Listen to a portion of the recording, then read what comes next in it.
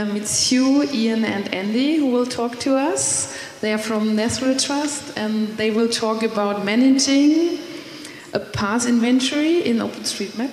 And we're excited and please, it's your stage. Thank you very much.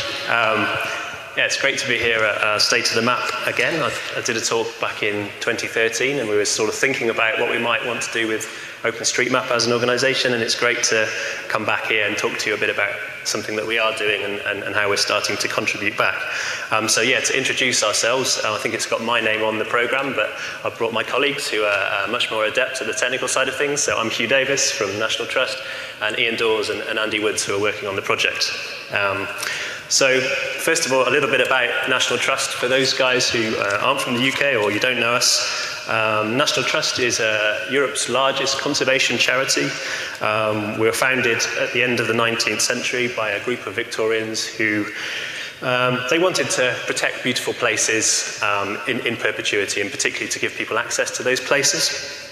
Um, we have 5.5 million members in the UK um, and our membership model is the primary source of, of, funding for all of the, of the conservation work we do uh, in the UK.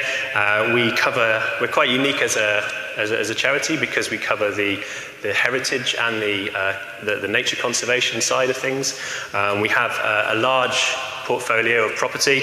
We look after around 250,000 hectares of land. We have around 350 historic houses, um, 780 miles of coastline, and so on. Um, so for us, it's, uh, it's a real challenge trying to uh, manage all of those assets, um, which is why um, a tool like OpenStreetMap is really interesting to us. Uh, we also have uh, a tremendous pool of volunteers for the National Trust, around 70,000 volunteers. Um, so we're kind of interested in how we can, how we can use um, open source products and crowdsourcing uh, more to, to support the work we're doing. So uh, a bit about um, access. So we're, we're, an access organization um, and we provide broad public access to our properties through around 20,000 kilometers um, of of paths. We think we have around 20,000 kilometers. Um, one of the reasons that we're doing this project is we don't have any central records or a central database um, of, of, of, paths. Um, but we do know that walking is the most popular activity at National Trust. We think we have around 300 million visits um, for, for people walking on, on our properties. Um, and um, so, so clearly it's really important that we, that we understand the scale of this asset and, we, and we're managing it effectively. So the problem that we're really trying to solve with this project is, first of all, quantity. So knowing how many um, how many miles or how many kilometers of path we look after is important to us. Um, you know, it helps us um, engage with visitors who, who maybe don't think of the National Trust as a, as a, as a walking organization or providing access in that way. Um, as I say, we don't currently know how many miles of footpath we look after, uh, and therefore it's difficult to manage. Um, we, we, we're also um, keen to make sure that we're providing access in the right places. So, um, you know, we, we, we know we have um, paths all over our land, but actually it's important to make sure that we have really good access provision around the places where people live so that we can provide more public access in those areas. Um, quality. We want to provide people with really great experiences when they come to our places. And uh, for, for, many people, um, footpaths and paths are the way people will experience our places. So we want to make sure that they, uh, they remain safe, that, that the paths are, are well maintained, uh, and that actually we can be um, inclusive in the experiences we offer by providing access to people with different needs in terms of access. Um, so uh, understanding that dimension and putting sensible um, maintenance schedules around um, path maintenance as well. And also connectivity. So obviously the National Trust aren't operating in a vacuum. Um, there are, uh, uh, we have a, a good statutory um, network of public paths which are, um, uh, are uh, looked after by our local authorities. Um, so we're connecting into other areas. There's also quite a, a lot of um, uh, national trails, both for, cycle, for cycling and walking. So just moving on to talk a little bit about the project itself. Um, we've kind of built the, the, project like a, like a pyramid. So uh, at the bottom of the pyramid um, is, the, is the path inventory. So this is a sort of, we're hoping to create a central register of, of all paths on our land. Um, uh, that would include both paths that are statutory, so we have to provide access, but also the ones that are permissive that we provide additional on top of that uh, legal, legal rights of way. Um, on top of there, um, we have something called NT primary paths. So these are the main paths at our places, the way that people get around um, properties.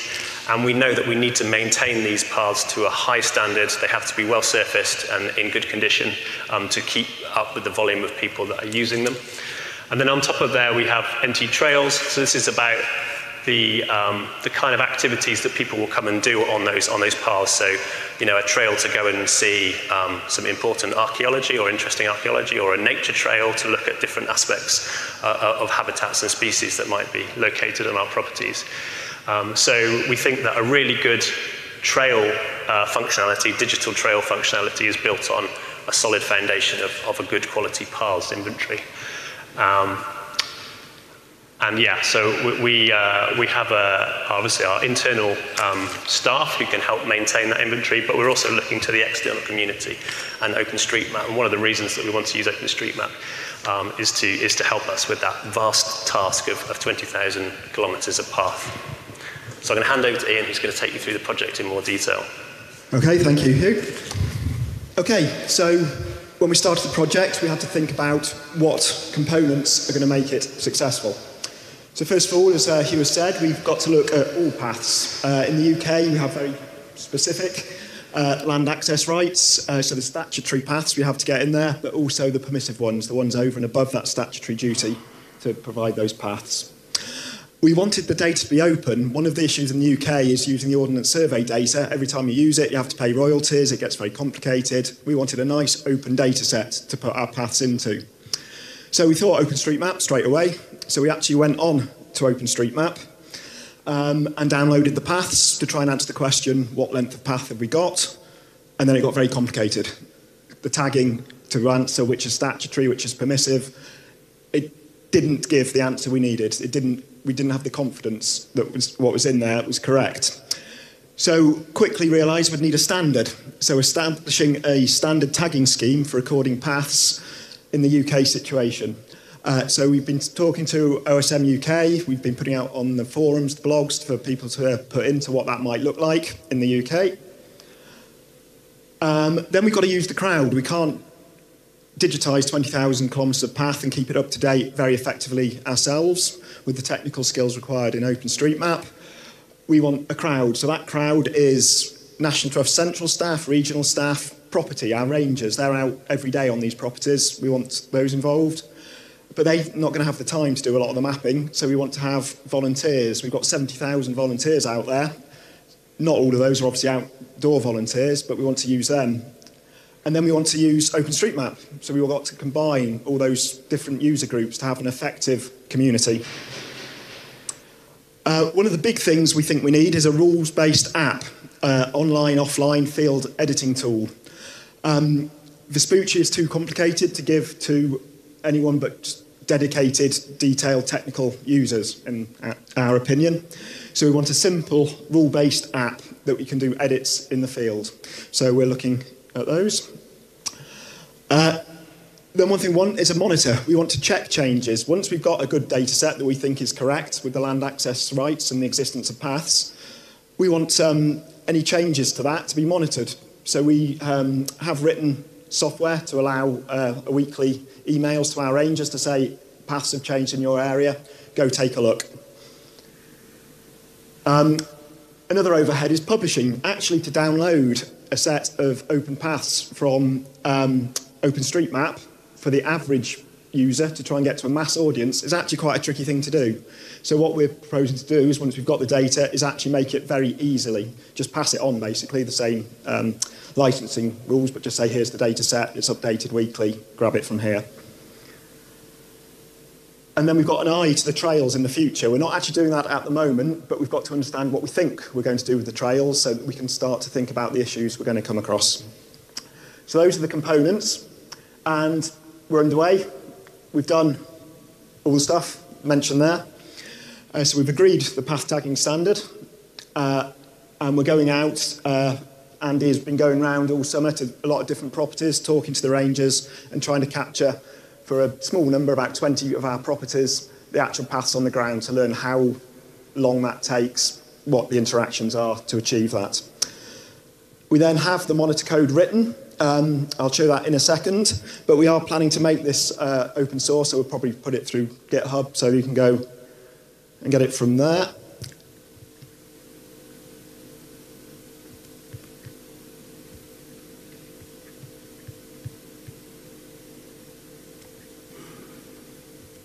So that is our tagging schema. So that is on a, a wiki link, uh, OSM wiki. Um, the URL is at the end of the presentation. So if you want to go on, look at the schema we're proposing, comment on it, anything like that, please feel free.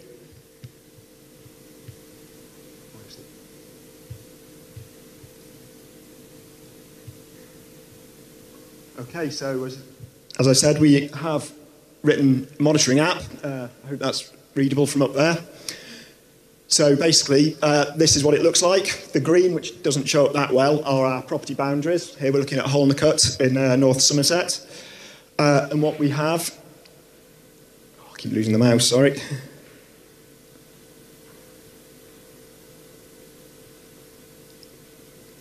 is a bounding box for each property, which is the area we're monitoring. So each of our properties have a bounding box.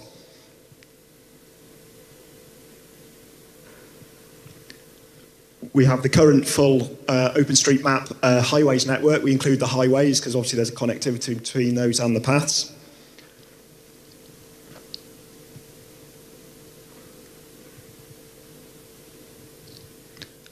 And then we have a weekly monitor. So on a weekly basis, on a Saturday night, I think it is, it runs and looks at all changes that have occurred on National Trust land within those bounding boxes and if there is changes, it picks up the email address from the bounding box and it sends an email to our rangers to say, go take a look.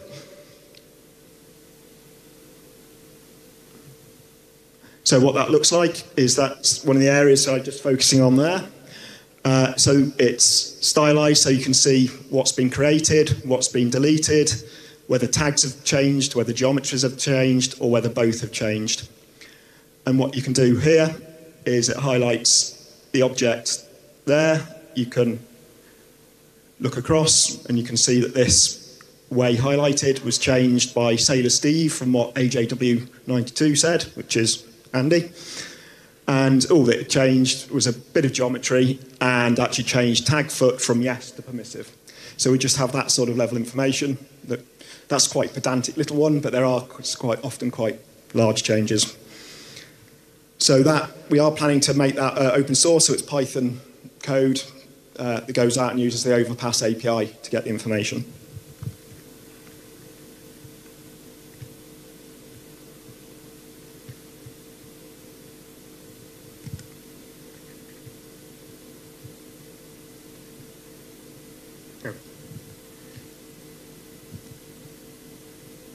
Sorry, I actually closed the PowerPoint, not moved it.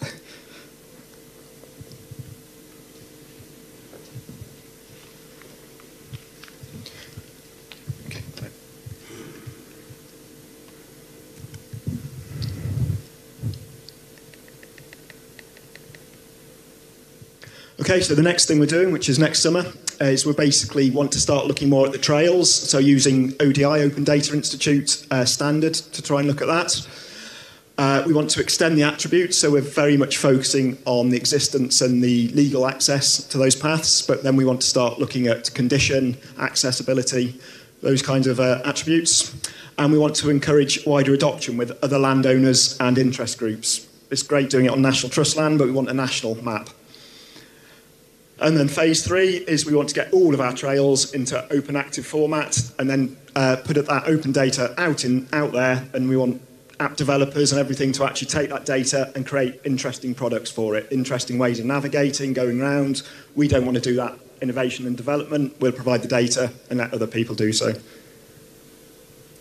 Uh, so the tagging schema, is, again, is there. I'm not going to go into that in detail, but basically we're, focusing on the designation and the physical side of things, and then uh, optionally we're looking at some of the extended attribution. Uh, I'm now going to hand to Andy to go through some of the case studies we found of uh, interesting examples of problems.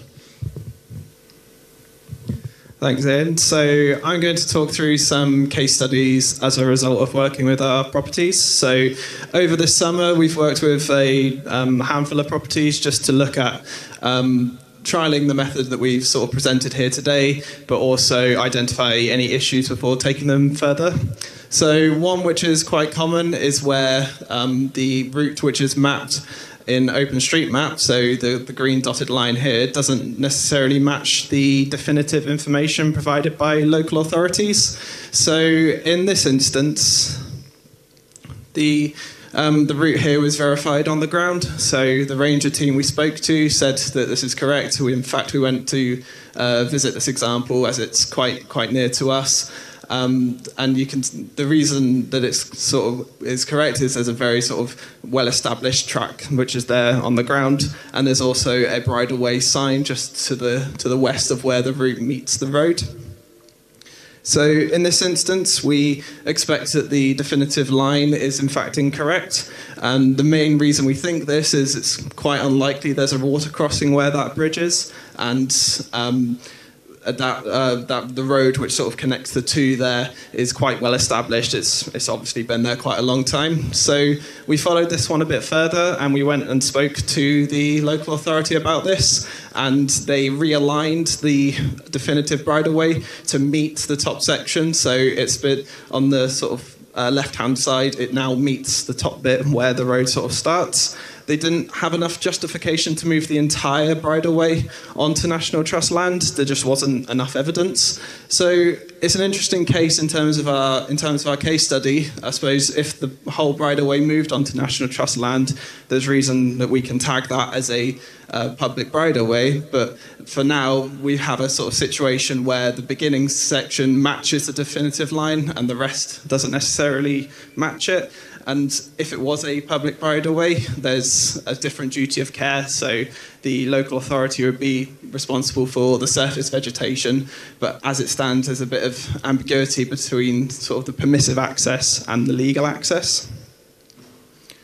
The next example I'll talk you through is a, a piece of access land. So in this instance, mem- any member of the public has a legal right, what's called a right to roam, to walk anywhere in the yellow shaded area. So um, they don't need a path to access any um, section on that land. But in addition to that, there is again a bridleway. Um, so they have a legal right to horse ride and cycle along that line, as well as walk anywhere in the yellow shaded area. When we went to speak to the local team about this, they flagged to us that this uh, public bridleway, in fact, goes over some quite sensitive habitat, which um, potentially could be uh, cause additional erosion damage from horse riders and cyclists. And in fact, there's a track which has been mapped further to the south, which is far more suitable for bridleway traffic in this instance. And in fact, what they, they said to us is it's the route which is most commonly used. So in terms of our tagging schema, it's an interesting example. So we wouldn't not want to say that, um, not want to tag the route going to north that it's a public right-of-way, but I suppose in an ideal situation in terms of routing, we'd want people to use the um, more suitable track to the south. The last example I'll talk you through um, is not, it's actually not on a piece of National Trust managed land. It's a example which is uh, lo local to us, and this is mapped in OpenStreetMap as a track. And we noticed on the Ordnance Survey 1 to 50,000 scale map, so the UK's National Mapping Authority's um, record of this track, it's down as a, as a minor road. So the tags in OpenStreetMap are quite consistent to this. So it's designated access for uh, horse, foot, bicycle, and motor vehicle. But if we look at this track in reality, it is it matches the OpenStreetMap uh, physical tag quite well. It's a, nothing more than a farmer's track, so perhaps only suitable for agricultural vehicles, uh, maybe, maybe 4x4s. And we had a look at the, one of the routers that's just on uh, OpenStreetMap, and in this instance, it would route um, a car down this down this track. So, as I, as I mentioned, it's not on National Trust land, but it's an interesting example of how we perhaps would tag this against um, the definitive definitive information if it's not necessarily intended for for that use case. So I'll pass you back over to Ian just to talk through the remaining implications and challenges we've had. Okay, uh, very quickly. Um, the reason we're here, there's three of us at the conference today, is we want to understand a bit better the, these four areas. So one is crowd editing. We want to learn how to effectively utilize a crowd using a variety, OSM and the rangers and uh, our staff, to work out how to do that effectively. We also want to understand the impact of tagging on routing algorithms so that we understand changing it from a, a paper map to in-field navigation. What does that tagging mean? How do those tags influence what people are told? Then our objective is to do it once, get it out there, anyone can use it. But the two most used in the UK for routing are probably the Ordnance Survey and Google. And neither of those can use the data we're going to put out there because of the share alike part of the um, OpenStreetMap. That's their issue, and partly it's a blocker to us, so we want to understand a bit more around that. Uh, and then monitoring. We've, we're setting ourselves up as an authoritative editor. We're uh, adhering to a standard. We're policing. These aren't really OSM type terms, so we'd like some feedback on what, how people see. We are the landowners. We do know what those paths are, what the legal definition is, what we are allowing additional access, and we'd like to get that right and we'd like to tell people. But if, do we have that authority to go around and undo people's edits? We don't want to get in a ding dong going yes, no, yes, no, yes, no. How do you manage that? Where our interest, we've always said that we'll never remove paths that exist on the ground. We'd just tag them. We'd say, um, what's the term again? Discourage. That was the tag that's used, discourage, where we don't want people to use it. It's there, it's on the ground, but we'd prefer it that people didn't use it. So we'll leave you with that. So any of those, it's on the um, on our wiki page. We've got a discussion on there. Please go on, give us feedback, let us know what you think, uh, and thank you for your time.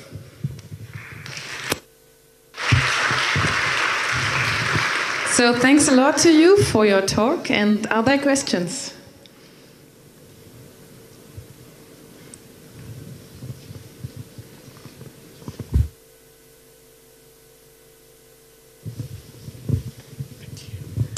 Hi there. Um, yeah, thank you for your talk. I was just um, interested in whether you are including information on accessibility, so uh, people with mobility impairments. I've missed the start of your talk, so you might have covered this, um, and how you're how you are um, tagging that and collecting that.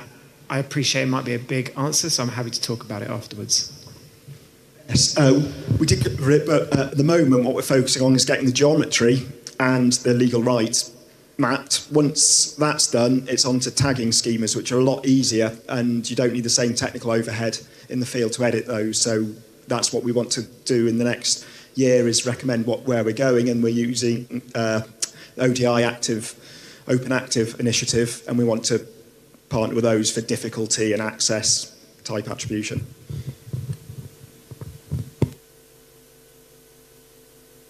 Questions? There's a question here. Um, I'll declare a slight interest here. I'm also a Ramblers right of way officer. However, one of the things that I'm very keen on with mapping and where OSM can beat Ordnance Survey is barriers.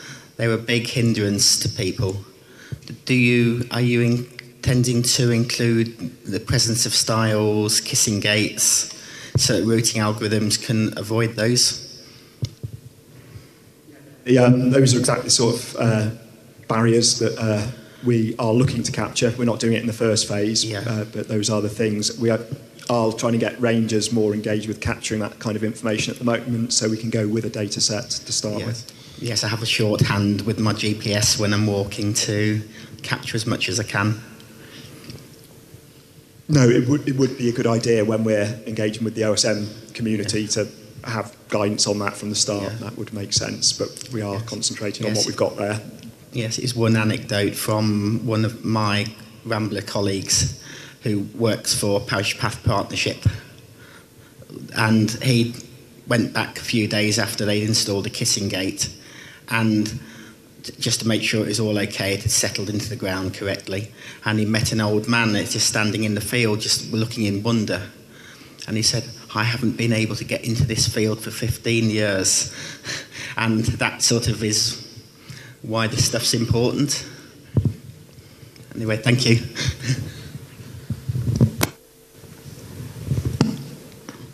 One last question, maybe? Or two short ones, possible as well? Um, I think you touched a bit on your getting your rangers involved, or you're wanting to, um, and I'm just interested in how they've been responding it to because I know you're you seem quite passionate about OpenStreetMap, which is great. But when you're telling your rangers, "Oh, we want you to do this," um, are there any challenges that you've had maybe with them, or bad reactions that maybe could help us learn from? Yeah, I think the biggest challenge for our ranger community is just their time and the and the and the scope of work that they're expected to cover. So um, we've had a program running for the last four years around their GIS development. So we've been providing um, a lot of training on our internal GIS tools that we have um, that they use for work. So what we're, we're, kind of hoping that now that we're engaging them in the OpenStreetMap side of things, that they've at least got a basic understanding of points, lines, and polygons and how things are represented in geographical space, and that we can sort of bring them into the sort of street map journey as we go. But actually, um, I think we found that they're they're really interested. As much about the um, the participation and engagement side of, of, of OpenStreetMap as, as much as the uh, the sort of the, the, the mapping itself. Okay, so thanks a lot for your talk and all the best for the project.